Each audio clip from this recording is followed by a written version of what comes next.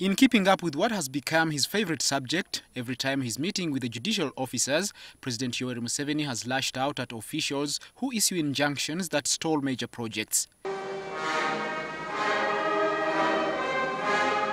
Speaking to hundreds of judges at the official opening of their 22nd annual conference, the president told them of a judge who issued an injunction in a commercial dispute that stopped the construction of a multi-billion factory. I heard that a court had stopped the man who had put $630 million on the ground. Ah.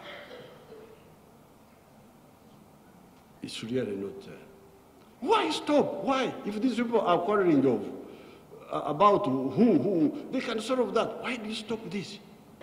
So the, the Chinese man was almost committing suicide. You cannot be serious.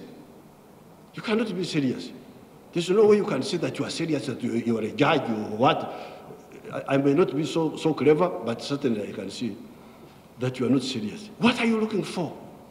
So, I'm sorry if I have interfered with sub judice, I, I may be arrested.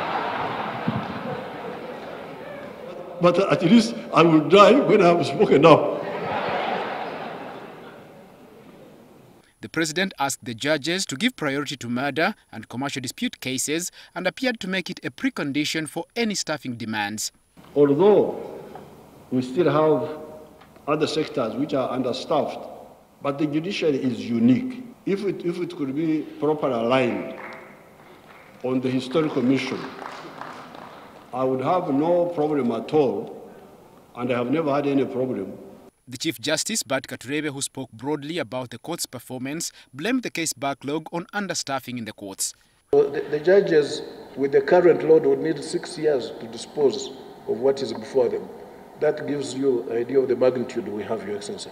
With High Court leading on case backlog, Katureebe wants the mandate of the lower courts expanded to handle some of the pending cases.